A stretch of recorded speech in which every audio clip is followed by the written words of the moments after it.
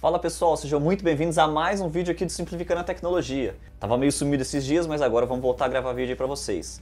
E no vídeo de hoje, pessoal, eu vou trazer pra vocês, normalmente eu costumo fazer o quê?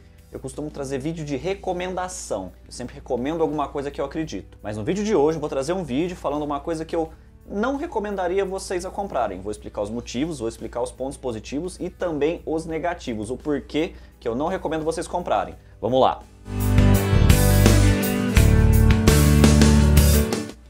Bom, pessoal, o vídeo de hoje vai girar em torno desse controle aqui, tá? Esse é o joystick Red Dragon Saturn G807. 807? Isso, 807. E assim, ele, como ponto positivo, ele é um excelente controle, os analógicos dele é muito macio. Aqui nele também é bom, se bem que tem um leve ponto negativo aqui, depois eu vou explicar para vocês. Os botões, os, os, os, os gatilhos, os botões L1, R1. Pessoal, o controle em si, a princípio, é incrível, tá? Ele é muito, muito bom, macio, tá? Esse aqui. Só que, pessoal, é o seguinte, o, o, o, ponto negativo desse controle, que eu até não recomendo comprar por causa disso, são os gatilhos. É, os gatilhos de trás R2 L2, para quem joga no Playstation é mais fácil identificar, porque ele quebra muito, muito fácil. Deixa eu dar uma resumida na história. Eu tava precisando de um controle, um joystick para jogar aqui, fazer minhas lives que eu tô fazendo, e eu não tenho, eu tava juntando grana para comprar um. Um amigo meu que tem um controle parado, no caso esse aqui, falou: "Cara, eu não tô usando, ele joga mais no console hoje em dia". E ele falou: "Cara, eu não tenho, eu tenho, não tô usando, se você quiser emprestado pode pegar, e fica o tempo que você precisar, se você quiser depois você compra ele de mim". Falei: "Show, vou pegar um que eu sei que funciona, que eu sei que esse amigo meu, ele cuida muito bem das coisas dele".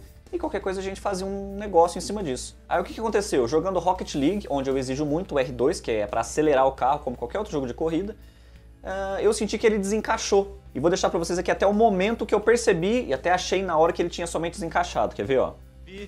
Só as narração braba, hein? Nossa, imagina, mano. Ué. Ué. Ué. Ué, o quê? O controle, o R2 saiu do lugar. Nossa, mano, que abalo. Nossa, mano. Como assim, mano? O R2 saiu do lugar. Tô acelerando aqui, ele saiu do lugar. Desencaixou.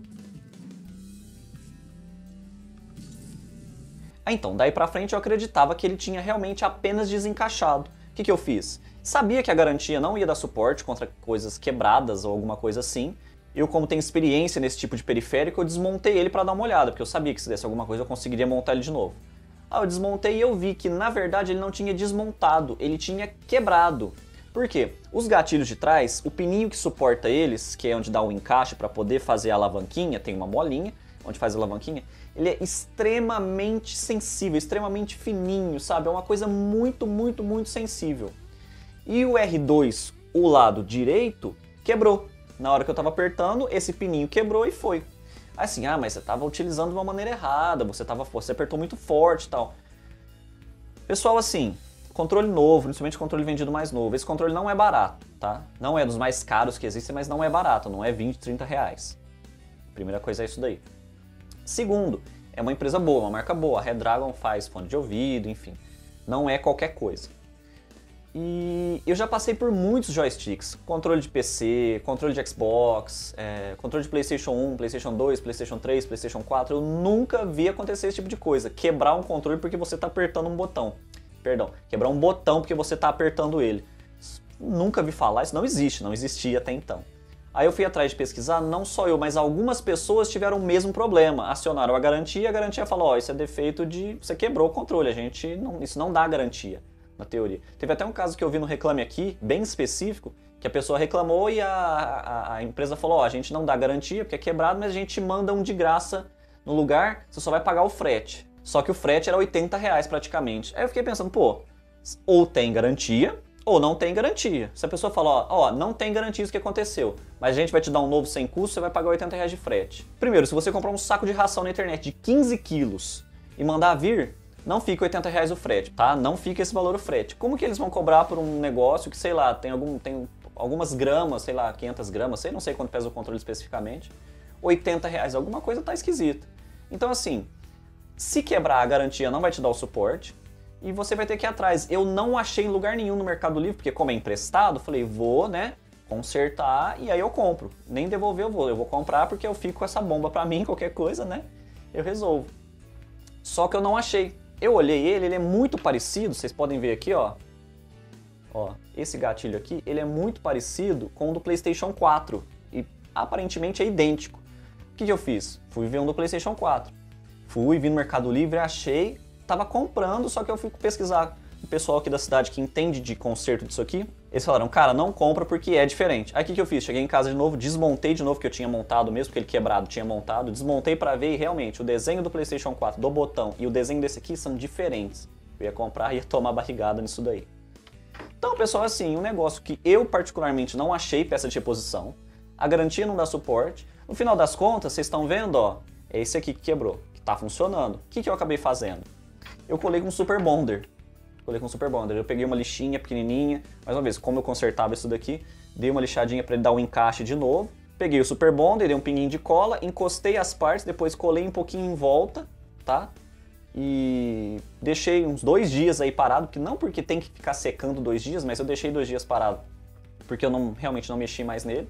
E quando eu peguei para dar o andamento para montar de novo, eu montei, até agora ele não quebrou. Até agora ele não quebrou. Mas eu não recomendaria por isso. Esse problema, pelo que eu vi, eu achei aí umas 5, 6 pessoas com esse problema. Ele parece ser um problema crônico. O controle já vem com esse defeito justamente no R2, porque tanto o meu caso quanto as outras pessoas que eu vi que quebraram ah, o gatilho, todas foram R2. E se você não tem peça de reposição, fica complicado. Então, assim, o controle é muito bom, só que eu não recomendo por isso. Porque se quebrar, ou você tem que ter o conhecimento para consertar, ou vai pagar alguém para consertar, ou você vai ficar sem controle. Outra coisa que eu tinha comentado também, ó, isso aqui, tá? Ele é muito ruim em game, tá? Em jogo ele é muito, muito ruim. Eu não vou falar horroroso, mas ele é muito, muito ruim ele não é tão sensível. Por exemplo, eu comprei um controle há muito tempo atrás, o analógico dele não funciona mais, os botões dele também começaram a dar problema, a plaquinha dele deu defeito. Então, tá jogado aqui. Mas, sei lá, faz 7, 8 anos que ele tá aqui. Se eu jogar, por exemplo, Cuphead, tentar jogar pelo direcional aqui, pelas flechinhas, pelas setinhas que a gente chama, né? É muito bom, é macio, é certinho. Esse aqui parece que é meio duro, meio estranho, dependendo do jeito se eu aperto para frente, ele aperta meio para baixo junto também, não é muito bom. Mas hoje em dia quase nenhum jogo utiliza isso daqui, sim, para valer. Você pode utilizar sempre os analógicos, tá? Ele é padrão controle PlayStation 4. Não vai fazer muita diferença. Se, você, se, se for por isso, eu recomendo você comprar, sabe? Não é por isso que eu não vou recomendar. Mas essa questão do gatilho quebrado aí pega e pega muito. Então, se você tem, tenha ciência disso, já você sabe que isso pode acontecer. Você pode passar 10 anos com o controle isso não acontecer, tá? Mas eu tô falando. E se você estiver pensando em comprar, tenha isso em mente, que esse é um ponto negativo, assim, bem chato, tá? Porque não é uma coisa assim, se você conseguisse achar fácil peça de reposição, você mesmo trocar, beleza. Agora, você comprar um negócio, não achar peça de reposição e a garantia não te, e você não tem cobertura de garantia, porque é um, a peça está quebrada, não é um defeito de fábrica, garantia é só defeito de fábrica, parou de funcionar, alguma coisa do tipo. É, tome cuidado para não às vezes comprar e acabar no final saindo no prejuízo, tá? Aqui, como eu disse, eu colei, mas não vai ser todo o caso que isso vai resolver. Beleza, pessoal? O vídeo de hoje é isso. Espero que tenha ficado claro para vocês aí. Espero que tenha ajudado vocês, caso você esteja pesquisando um controle. E pela última vez, o controle é até bom, só que esse problema torna inviável estar tá pegando ele, porque se quebrar, né, não vai ter muito o que fazer. Beleza? Por hoje é isso. A gente se vê no próximo vídeo. Tamo junto. Valeu!